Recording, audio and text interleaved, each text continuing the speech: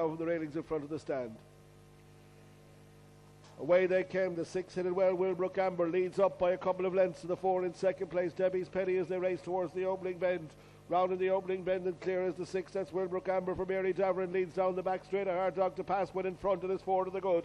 The one in second place is Slaneyside Bray as they go down to the three quarter mark with the five in third. Bridget Jake. But out front this Wilbrook Amber led it. Trap Rise is still four five to the good. Beginning to swing for home. Off the home turn the Mary Davern owned Wilbrook Amber. Home and holds and will win for the sixth time by about six lengths from the one in second. Slaneyside Bray, the five Bridgets Jake in third in a time of 20.